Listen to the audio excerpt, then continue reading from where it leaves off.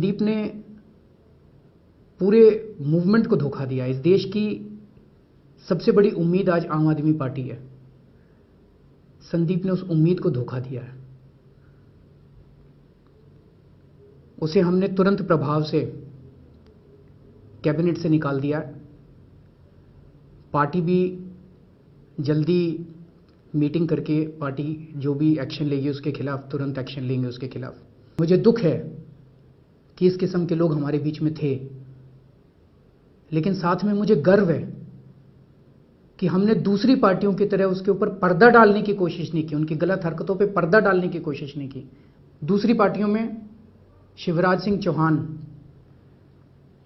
उनके ऊपर कितने आरोप लगे हैं व्यापम स्कैम के अंदर, कितने उसके अंदर तो मर्डर हो गए हैं, कितने बड़े बड़े भ्रष्टाचार के आरोप लगे हैं। पर भारतीय जनता पार्टी उनको बचाने में लगी हुई है। उनको निकालने में नहीं लगी हुई। सारी की सारी पार्टी उनको बचाने में लगी हुई है। वसुंधरा राजे जी, उनके ऊपर माइनिंग के घोटाले के आरोप लगे हैं। उनके ऊपर ललित गेट के घोटाले के आरोप लगे हैं। पूरी की पूरी भारतीय जनता पार्टी उनको बचाने में लगी हुई है। पंजाब के अंदर जो कांग्रेस के कैप्टन अमरिंदर सिंह हैं, कैप्टन अमरिंदर सिंह के परिवार के स्विस बैंक के अकाउंट निकल के आए हैं कि स्विस बैंकों में उनके अकाउंट हैं। कांग्रेस उनको निकालने में नहीं लगी हुई है।